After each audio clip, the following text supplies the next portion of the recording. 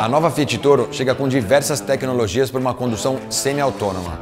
O alerta de saída de pista, por exemplo, conta com uma câmera frontal que avisa ao motorista caso a picape comece a sair sozinha da faixa de rodagem. Além disso, tem também a comutação automática do farol alto. Está dirigindo à noite numa estrada, vem um carro no sentido contrário, farol baixo automaticamente. E tem ainda a frenagem automática de emergência. Caso você dê uma distraída ao volante, você recebe um alerta sonoro. Se você se aproximar do carro à frente sem acionar o freio, a própria Fiat Toro vai acionar o freio para você.